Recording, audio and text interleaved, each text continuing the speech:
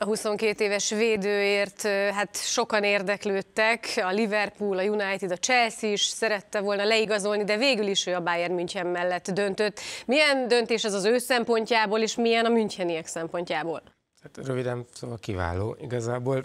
Tulajdonképpen ugye itt, itt arról van szó, talán nem is a, a leigazolásról, hanem egy kivásárlásról. Ugye ez egy fontos különbség, hogy ugye Németországban ugye sokan arról beszélnek, hogy akkor a Bayern megint lerabolta a Bundesliga, stb., de ugye az a helyzet, hogy egyrészt azzal, hogy ugye ez a 42,5 millió, ami úgy alakult ki, hogy folyamatosan ment lejjebb, tehát ugye a fiatal játékosok akár a Lipcsébe is, vagy, vagy bárhol, ugye azért kötnek ilyen szerződéseket, amiben benne van egyfajta kivásárlásjár, mert így tudják őket megtartani. Tehát, hogyha egy mondjuk nagyobb fizetésük lenne, akkor nagyobb lenne a kivásárlásjár, így, így, így ez biztosítva azzal, hogy egyrészt ugye a Lipcse is jól jár, meg másrészt Egyébként, hogy mennyi ez a pénz, bocsánat, ugye itt láthatjuk, hogy ő a Bayern történetének harmadik legdrágább igazolása, hogyha pedig az egész Bundesliga mezőnyt nézzük, akkor a negyedik helyen áll ilyen szempontból, úgyhogy ez egy elég jelentős.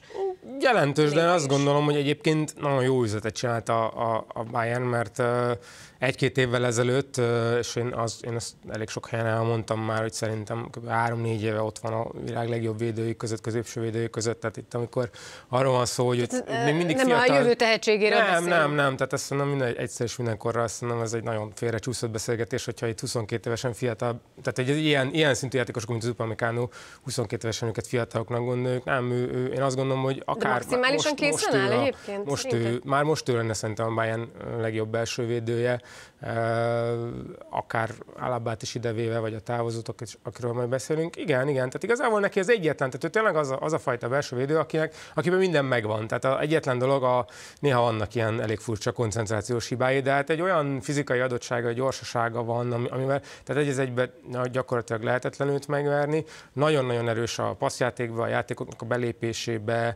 tehát minden olyan, minden, amit a, úgymond a, a modern belső védőnek, tehát mondjuk szerintem Virgil van Dijk vagy Sergio Ramos testesít meg, ő ugyanez a, ugyanez a kategória képességeit tekintve, és, és ugye azért jó a Bayernnek, mert még évekig ezt fogja csinálni, ott öt évig most legalább te egy picit ingattad a fejedet, akkor nem értesz ezzel teljesen egyet? Nem. nem. Hogy jelen pillanatban az említett játékosok nem, mellé Ramos Van Dijk párhuzammal azért egyetlen okból nem, Ábel is elmondta, hogy a koncentrációs történet. Tehát azért az, az nagyon nem mindegy, ez hogy... 22 éves korának tudható be, nem? Nem, ezzel nem, ér, nem, nem. Én azt gondolom, hogy ez, ez egy adottság kérdése, és egy, egy olyan fajta felelősség érzet, vagy egy olyan fajta uh, nem tudok más mondani, jobbat mondani, mint a felelősségérzet, hogy ami Lipcsében még idézőjelbe elmegy, mert oké, nem leszünk bajnokok, könnyen mondjuk, hogy a Bayern miatt nem tudunk bajnokok lenni. Azért az, amikor a Bayern Münchenbe fogod dobni ezeket a hibákat, érdemes megnézni, hogy Boatenget szétszedik folyamatosan ezekért a hibákért. De ezt inkább Ugye... teszeded most már őket szét egy pár évet. Hát, azért ezekben nagyon kevés, tehát most egy szezonban van belőle hívjuk. kettő, tehát hogy azért mondom, hogy azért ezt Igen. Ne, úgy, ne úgy képzeljük el, hogy minden, minden héten három van belőle, szóval... Ö, nem fedem. Igen, csak egy szezonban elég egy, amivel elmegy mondjuk a bajnokok ligája. Tehát én azért vagyok egy kicsit óvatos ezzel, mert például amikor Fandijkot megnéztük, hogy másfél év alatt nem cselezte ki senki, tehát és akkor is azt a csel, tehát aki látta, az, tehát az megmosolyogta, hogy valaki kirúgta az oldalvonal mellett, utána szaladt a labdának, és ezt cselnek húzták, vagy másfél év után így verték meg csellel.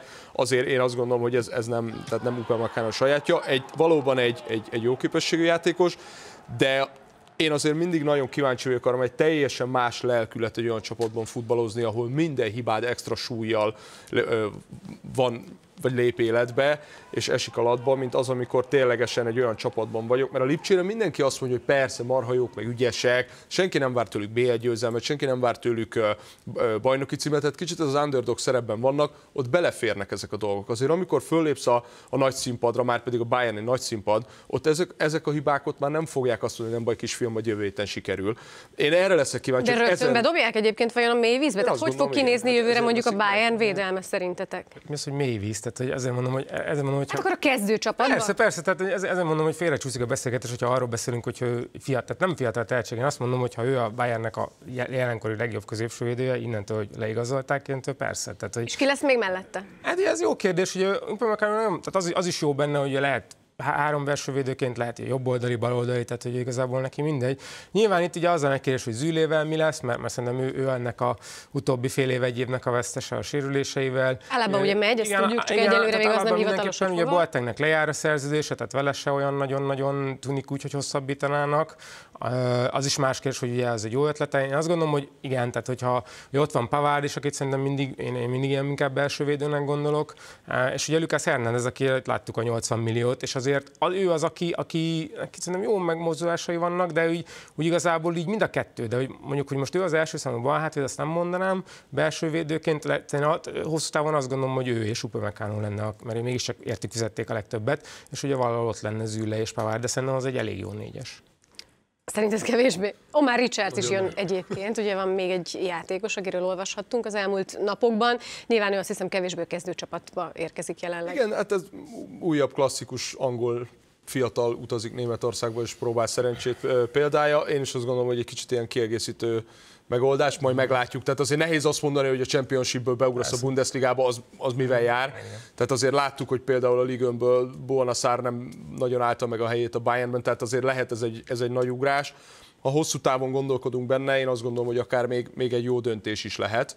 Nagyon kíváncsi leszek, viszont én egy picit aggódom a Bayern védelméért abból a szempontból, hogy azért olyan bástyákat ütnek ki most uh, Münchenben, hogyha nem hosszabbítanak Boatengel, vagy Zülét elengedik, vagy Alaba elmegy, akik azért pontosan tudják, hogy kell ebben a stílusban menedzselni egy-egy mérkőzést. Tehát amikor azt mondom, hogy Hernández Upamecano a két belsővédő, azért az nem az a védelem, amire azt tudnám mondani, hogy nyugodt szívvel rábízok egy egész félpályás védekezést, és tudom, hogy kell menedzselni a csapatot hátulról, stb. stb. Én abban nem érzek annyi rutint és annyi felelősséget, amennyit egyébként a mostani védelemben, pedig azért a mostani védelem is bőven kapja a gólokat. Úgyhogy én nagyon kíváncsi leszek. Aztán lehet, hogy nem lesz igazam, és tök jó lesz Upamecano Hernándezzel belül, ez is benne van, de most elsőre én azért valószínűleg megtartanék Upamecano mellett legalább egyet, legyen az akár Boateng vagy Züle, legalább addig, amíg egy fél szezon le nem zajlik,